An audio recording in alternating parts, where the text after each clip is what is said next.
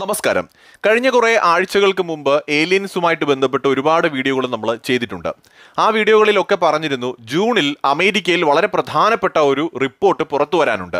U F ഒകളുമായി ബന്ധപ്പെട്ട ആ report ഏലിയൻസിനെ കുറിച്ചുള്ള നമ്മളുടെ പല കാഴ്ചപ്പാടുകളും മാറ്റിമറിച്ചേക്കാവുന്ന ഒന്നാണ് എന്ന്.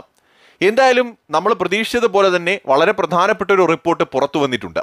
പക്ഷേ അതിനകത്ത് ഇപ്പോഴും പല അവ്യക്തതകളും ഉണ്ട് എന്നതാണ് വാസ്തവം. അജ്ഞാത പറക്കും തളികകൾ അല്ലെങ്കിൽ പറക്കും വസ്തുക്കൾ എന്ന് പറയുന്ന അൺഐഡന്റിഫൈഡ് ഫ്ലൈയിങ് ഒബ്ജക്റ്റുകൾ എന്ന് നമ്മൾ വിളിക്കുന്ന യു എഫ് ഒകളെ കുറിച്ച് അമേരിക്ക പുറത്തുവിട്ട റിപ്പോർട്ട് വളരെ നിർണായകമാണ്. ഇത്തരത്തിലുള്ള നൂറ്റി നാൽപ്പത്തിനാല് സംഭവങ്ങളിൽ ഒരെണ്ണത്തിന് മാത്രമാണ് അമേരിക്കയ്ക്ക് വിശദീകരണം കണ്ടെത്താനായിട്ട് സാധിച്ചിട്ടുള്ളത്. തിരിച്ചറിയാനാവാത്ത പറക്കും വസ്തുക്കളെക്കുറിച്ചുള്ള പ്രാഥമിക നിഗമനം എന്ന തലക്കെട്ടോടുകൂടിയാണ് report American national intelligence director പുറത്തുവിട്ടിരിക്കുന്നത്.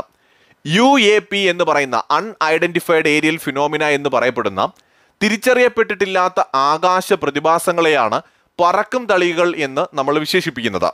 ലോകത്തെ ഏറ്റവും അഡ്വാൻസ്ഡ് ആയിട്ടുള്ള രാജ്യം എന്ന നിലയിലും ഏറ്റവും കൂടുതൽ പ്രദേശങ്ങളിലൂടെ സഞ്ചരിക്കുന്ന ഗവേഷണങ്ങൾ നടത്തുന്ന നിരീക്ഷണം നടത്തുന്ന രാജ്യമെന്ന നിലയിലും ഇത്തരം പറക്കും വസ്തുക്കളെ ഏറ്റവും കൂടുതൽ കാണാൻ സാധ്യതയുള്ള രാജ്യം അമേരിക്കയാണ്. അതിനുശേഷമേ ചൈനയും അല്ലെന്നുണ്ടെങ്കിൽ റഷ്യയും ഒക്കെ കാണാനിടയുള്ളൂ.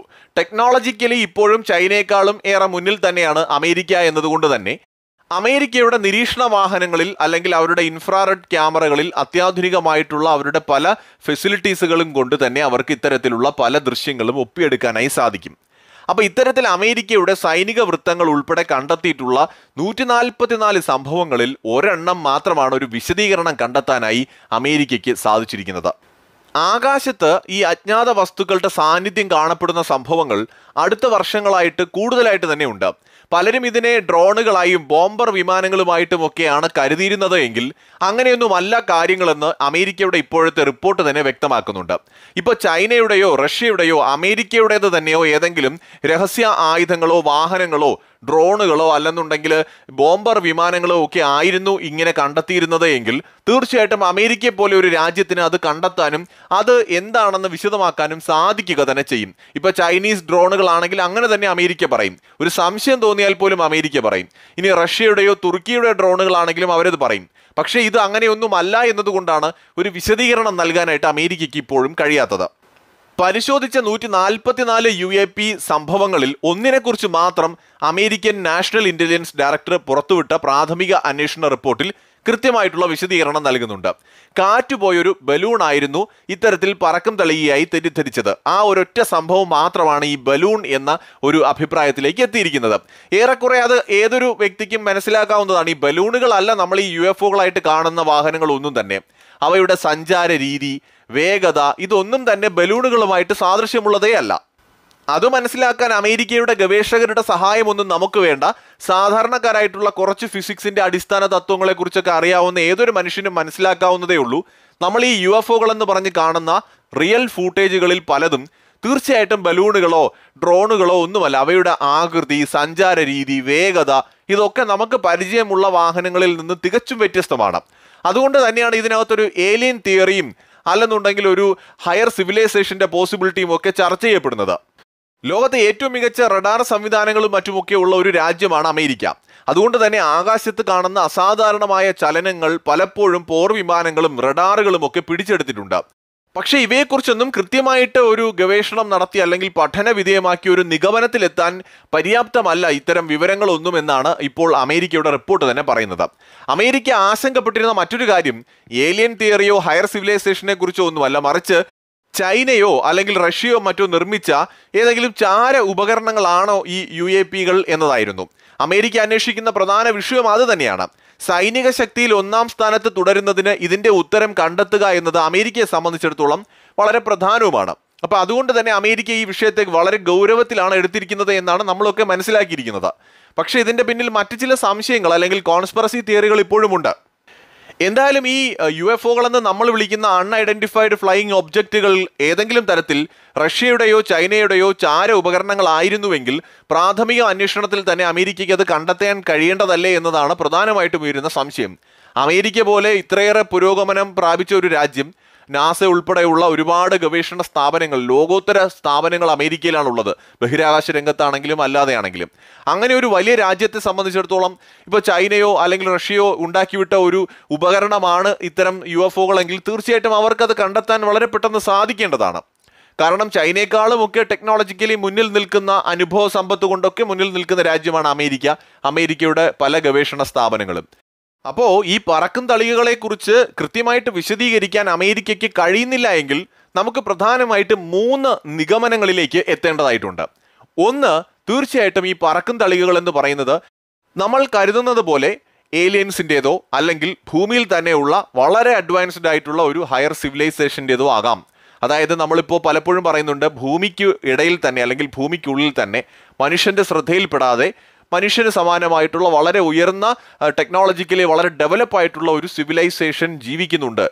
അവർ നമ്മളെക്കാളൊക്കെ ഒരുപാട് അഡ്വാൻസ്ഡ് ആണ്. ഇന്ന് മനുഷ്യൻ കൂടുതൽ ടെക്നോളജിക്കലി വളരാൻ തുടങ്ങിയതോടുകൂടി തീർച്ചയായിട്ടും അവരുടെ പല ഇത്തരത്തിലുള്ള യു എഫ് ഒകളെന്ന് നമ്മൾ വിളിക്കുന്ന അവരുടെ യാത്രാ വാഹനങ്ങളൊക്കെ മനുഷ്യന്റെ ക്യാമറ കണ്ണുകൾ ഒപ്പിയെടുക്കുന്നതാവാം. അല്ലെങ്കിൽ നമ്മുടെ റഡാറുകളോ അല്ലെങ്കിൽ ഇൻഫ്രാറെഡ് ക്യാമറകളോ ഒക്കെ പകർത്തുന്നതാവാം.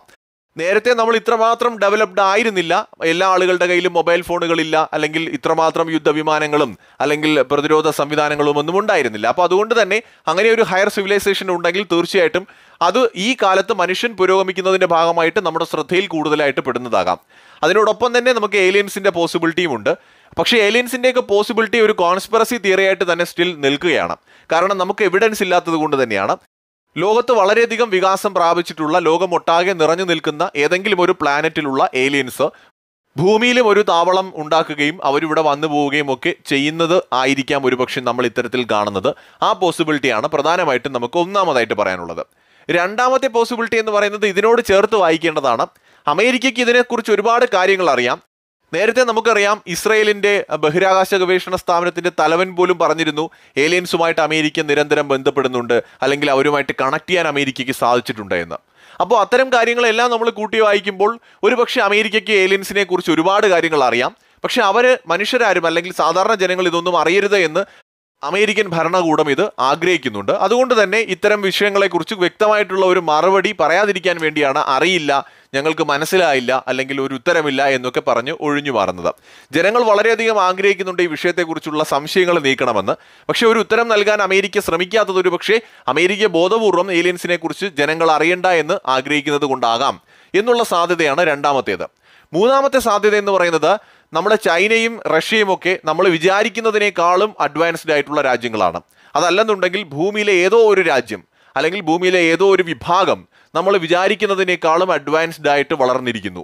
അവർ നമ്മുടെയൊക്കെ സാങ്കേതിക വിദ്യ അല്ലെങ്കിൽ നമ്മൾ ഇന്ന് കാണുന്നതും ഉപയോഗിക്കുന്നതുമായിട്ടുള്ള ടെക്നോളജിയേക്കാളൊക്കെ ഒരുപാട് ഒരുപാട് മുകളിലാണ്. അപ്പോൾ നമ്മുടെ മനുഷ്യന്റെ സാധാരണക്കാരനായിട്ടുള്ള ഒരു മനുഷ്യന്റെ നമ്മുടെ സാധാരണ രാജ്യങ്ങളുടെ ടെക്നോളജികൾക്ക് ഒരിക്കലും ചേർത്ത് വയ്ക്കാൻ പറ്റാത്ത വിശദീകരിക്കാൻ കഴിയാത്ത പ്രതിഭാസങ്ങൾ അവരെ കൊണ്ട് സാധ്യമാണ്. അപ്പോൾ അവരുടെ ഏതെങ്കിലും തരത്തിലുള്ള വാഹനങ്ങളാകാം അത് ചിലപ്പോൾ ചൈനയുടേതാകാം റഷ്യയുടേതാകാം അല്ലെങ്കിൽ ഇതിനെ ഒന്നും പെടാത്ത ഒരു സീക്രട്ട് ആയിട്ടുള്ള ഒരു രാജ്യത്തിന്റെതാവാം അല്ലെങ്കിൽ ഒരു കമ്മ്യൂണിറ്റിയുടേതാവാം സാധാരണ മനുഷ്യരുടെയും രാജ്യങ്ങളുടെയും ഒക്കെ ഇടയിൽ പെടാതെ മാറിക്കഴിയുന്ന ഒരു കമ്മ്യൂണിറ്റി ആവാം. അപ്പോൾ അവരുടേതായിരിക്കാം ഇത്തരത്തിലുള്ള നൂതനമായ ടെക്നോളജി കൊണ്ട് രൂപപ്പെടുത്തിയിട്ടുള്ള വാഹനങ്ങൾ നമ്മൾ യു എഫ് ഒകൾ എന്ന് പറഞ്ഞ് കാണുന്നത്. പലപ്പോഴും പസഫിക് സമുദ്രത്തിലേക്ക് പോയി മറയുന്ന യു എഫ് ഒകൾ അല്ലെന്നുണ്ടെങ്കിൽ ആകാശത്ത് നിമിഷ നേരം കൊണ്ട് അപ്രത്യക്ഷമായി പോകുന്ന യു എഫ് ഒകൾ ഇതൊന്നും ഒരു തരത്തിലും ഡ്രോണുകളോ അല്ലെന്നുണ്ടെങ്കിൽ സാധാരണ യുദ്ധവിമാനങ്ങളോ ബോംബർ വിമാനങ്ങളോ അല്ലെങ്കിൽ ബലൂണുകളോ ഒന്നുമല്ല. കാരണം കൃത്യമായിട്ടുള്ള റിയൽ ആയിട്ടുള്ള യു എഫ് ഒ ഫൂട്ടേജുകൾ വിശകലനം ചെയ്തിട്ടുള്ള വിശദമായിട്ട് മനസ്സിലാക്കിയിട്ടുള്ള ഏതൊരാളിനും അത് മനസ്സിലാവും. കാരണം നമ്മുടെ യുദ്ധവിമാനങ്ങളുമായിട്ടോ ഡ്രോണുകളുമായിട്ടോ ഒക്കെ വളരെയധികം ഡിഫറന്റ് ആണ്. യാതൊരു ബന്ധവും നമുക്ക് ഈ വാഹനങ്ങളിൽ കണ്ടെത്താൻ കഴിയില്ല. തികച്ചും വ്യത്യസ്തമായിട്ടുള്ള വാഹനങ്ങളാണ് നമ്മൾ ഈ യു എഫ് ഒകളെന്നും പറക്കും തെളിയെന്നും ഒക്കെ പറഞ്ഞ് കാണുന്നത്.